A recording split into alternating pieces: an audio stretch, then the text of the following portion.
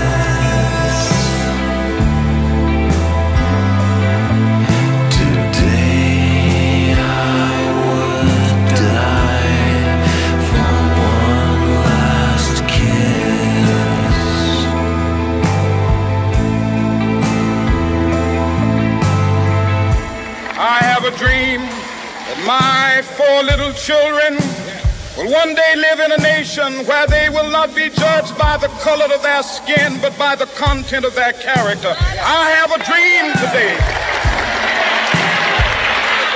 that all men are created equal.